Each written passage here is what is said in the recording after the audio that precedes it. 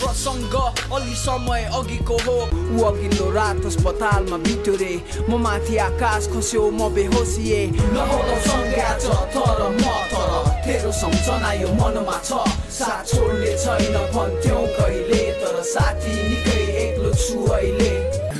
धेरै छ पीडा तै पनि हाँस्छु म। एक दिन मर्ने नै हो त्यसैले बाँच्छु म। दछन् त्यसैले होला मेरा शत्रुहरू खिन्न छन्। यहाँ फाइदाको लागि सबै मिल्दछन्। दुःख पर्दा आफ्नैले आँखा चिम्लन्छन्। गोर्खालीको छोरो ऊ कहिले पछि हट्दैन ऊ सधैँ अमर रहन्छ कहिले पनि मर्दैन बढ्दै गयो अघि ऊ एक शक्तिशाली आगो सरी तर रोक्यो कायरले पछाडिबाट छारो हानी ऊ रन्थनी काशी जमिनमा लड्दछ सकि नसकी फर्कन्छ अनि आकाश हेर्दै पल्टन्छ आफ्नो परिवारलाई सम्झन्छ ऊ निकै झस्कन्छ एकछिन पछि आँखा अघि अन्धकार मात्रै रहन्छ